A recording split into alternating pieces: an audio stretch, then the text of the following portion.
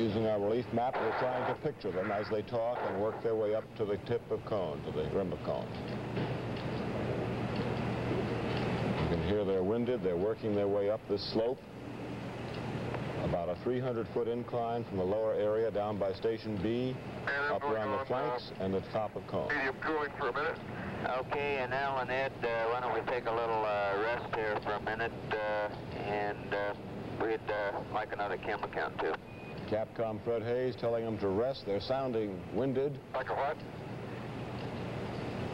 We haven't taken any pictures since the last one, I don't think. Okay, Ed. They've been sounding winded, carrying that load as they work okay, their we'll way up slow this down area. the um, traverse here.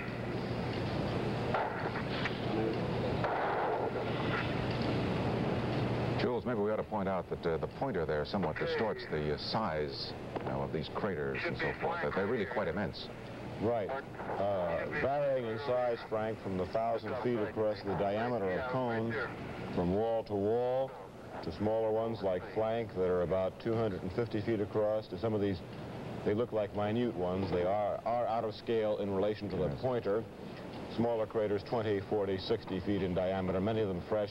This is the, these two craters here, by the way, are the ones we think Mitchell just talked about when he mentioned fresh impact craters. Well, Al uh, Shepard uh, some time ago mentioned that the uh, edge of uh, Cone Crater stretches off to the far horizon. So it's, it's a big one. That's toward where we think flank is. I'll pull for a while, Al. That's okay, I got it for a It wasn't quite clear exactly what he was seeing, Frank, whether he meant this edge and rim of cone or the far Shepard, one. uh, Yeah, I'm not this time. either. Well, while the astronauts are taking a uh, rest, we'll take a break. We'll have more on Apollo 14 right after this message.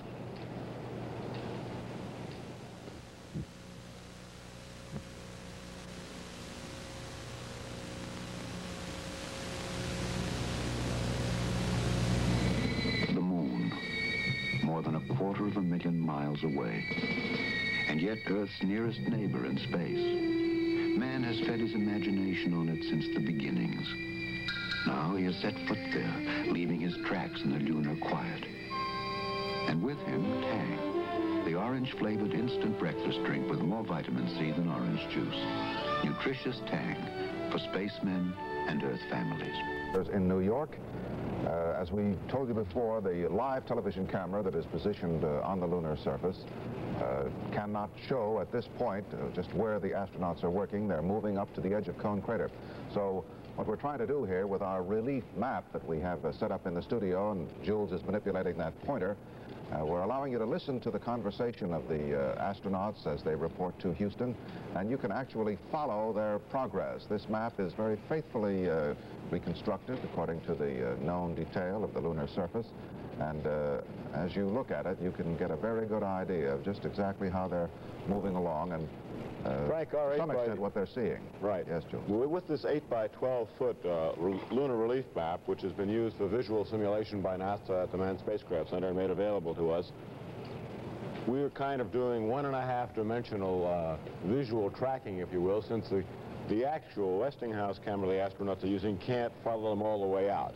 To recap and reestablish where, where we are and what's going on, they set out about an hour ago from the lunar module Antares site here, near Doublet Crater, Triplet Crater on this size, worked their way over here up to Station A, 1,300 feet away, then another 500 feet to Station B, then began to work their way up the slope of uh, uh, Cone Crater. If uh, camera 3 can get a little lower here, you can see some of the actual height and terrain relief. That's very good. This is an incline. Uh, if this were zero feet, which, which of course it is not, uh, they've climbed about 250 feet so far. They have another 150 to go up to the tip, the tip, and the rim of cone. They're coming a beam of flank crater. They take a, just ending a brief rest period, sounding somewhat winded if we track it right. Let's uh, crank into their air to ground for a second and see if we can position them again uh, with our visual relief map. Okay.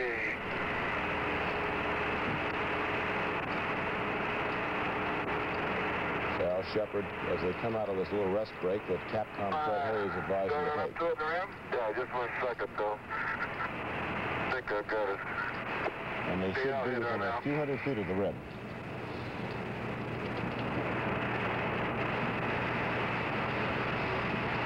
Uh, can you read? Uh, go ahead, Dad. Well, I'm getting the feedback on my own voice. Okay, yeah, it goes through. Okay. So we pull a while out. That's right. I've read it.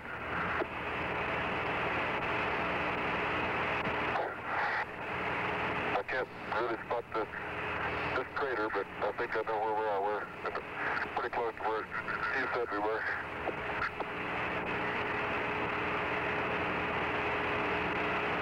Uh, Houston, your transmissions are still unreadable. Roger, Al. I been talking. How do you read me now? I think it's dead ahead of y'all. Oh, wait a minute. This is probably it right here. Yep. Am I right? Yep. Let's just double check and see.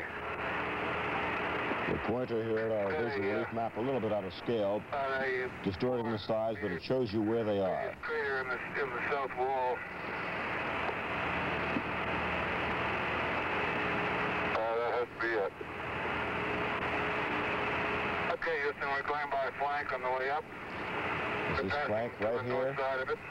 passing on the north side, this side. Uh, Roger, out. Copy. which leaves them about French is still unreadable. this leaves them about 500 feet more to go. They'll go around this direction up to the rim of cone, then work their way around here before heading down. These are some of those automobile-sized boulders they plan to throw down into rim. Both uh, Shepard and Mitchell heart rates uh, going up to about 120 uh, while they were traveling uphill. Putting the map away. Okay? They're just putting the map away. All right.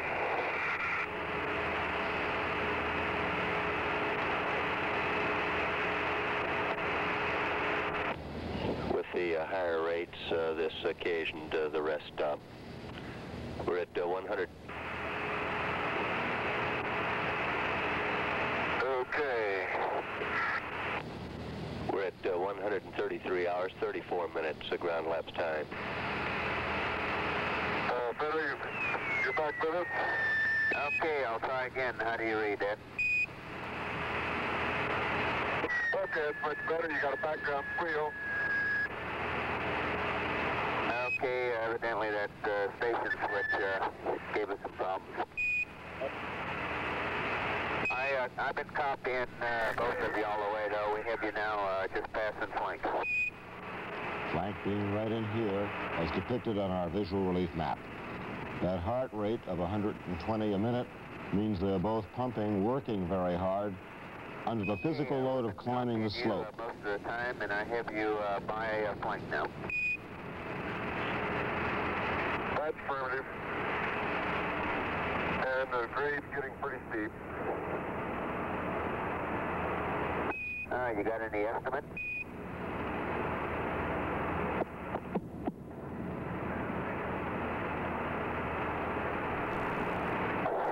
And the uh, soil here is a bit firmer, I think, than we've been on before. Uh, except the in between craters where it's been thrown up. But by and large, it seems to have a little firmer footing. We're not sinking in as deep. Ed Mitchell, he and Shepard have about 450 feet more to go before reaching the rim of cone up here. Now that should uh, help you with the climb there. That helps a little bit. Al's picked up the... Al's got the back of the mitt now, and we're carrying it up. I think it seems easier. That's right. That's, And that must be a steep incline. There are two guys here that figured you'd carry it up. say again. But there's two guys sitting next to me here that kind of figured you'd end up carrying it up. Well, it'll roll along here, except we just move faster carrying it. The rim being so steep that it's easier and faster for Shepard and Mitchell just to carry their lunar golf cart or rickshaw between them. Uh, this is the first big boulder we've seen, Houston. Uh, I think this it's worthwhile taking a picture of it with the close-up.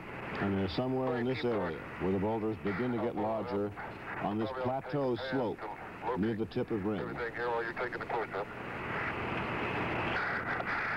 Okay, uh, I understand now you're shooting a close-up shot of a big boulder. Now, what's the size of this one, Al? Okay, the shot's been taken on the close-up uh, counter number 317. Uh, sun angle was 8 o'clock. Uh, the, uh, this particular one is only about 12 feet long by about uh, 4 feet wide. It's uh, about one-third buried. It's old, very weathered. There are some evidences of some crystal shining through some of the fractures. And I've taken a blade of the rock, and we'll take a pan now uh, from this location. Help document our uh, forest going to the top of Cone Crater. Uh, Roger, copy.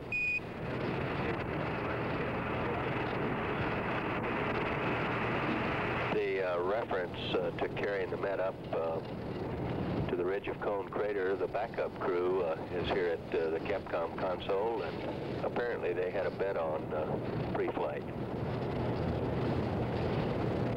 We're at uh, 133 hours, uh, 39 minutes. Ground elapsed time, 1 hour, uh, 50 minutes since cabin depress.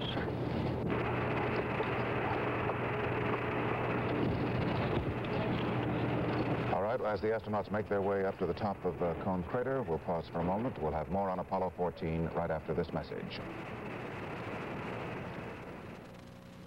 Mission, it's the uh, goal that they've been striving for, and when they get there, they'll have not only a tremendous view, but they're also uh, going to be able to tell us a good deal about that most interesting feature of the lunar landscape. And Antares has been on the moon for 24 hours and 46 minutes. Actually, this EVA has been underway for almost two hours at this point, and it's probably going to last a total of about five hours. We want to go back now to our uh, uh, relief map here so that we can give you some idea of exactly where the astronauts are, and we'll listen to their conversation. Is the planet better? And we're hearing Al Shepard describe he and Ed Mitchell at the top of the rim of Cone Crater The around, I don't think. in this area. I don't know. I'd say it's probably the lowest spot right uh Oh, right in that particular local area. Right that area, yeah. But that's the lowest spot over to the right that I was talking about. And there's a low spot. Well, there's a crater over there, too. Yeah, yeah. Doggone, you can sure be deceived by slopes here. The sun angle is very deceiving. Yep. Okay, let me pull a while. You ready to go? Yeah. How's that? Pulling the net behind them now. The lunar Let me go back to men, uh, middle first. Working hard, they'd raise the cooling rate on their backpacks. Now they're lowering it again. Just right straight up is the best way to go. Big bird. Right straight up is the best way to go. I think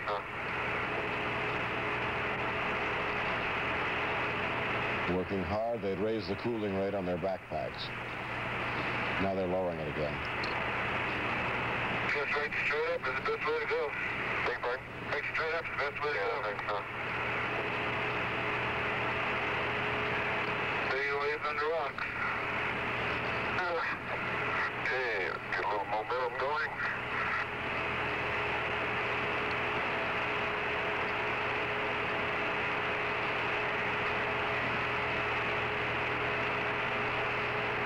Okay, Houston, we're proceeding onward now. Hi, Joe. In the boulder field, as Al pointed out, the rocks boulders get more numerous towards the top here. However, it's uh, nothing like the rubble and the large boulders that we saw at the Nevada test site. Now, this is surprising to me. I expected it to be more like that, but it is not. At least not where we're looking now.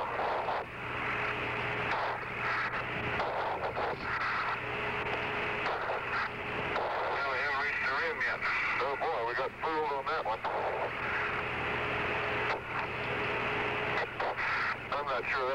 think we were at a minute ago either.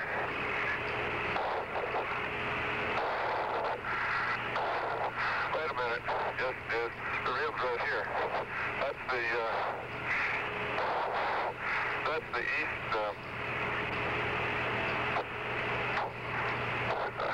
And you can hear them breathing hard. running down from the. That flank over there.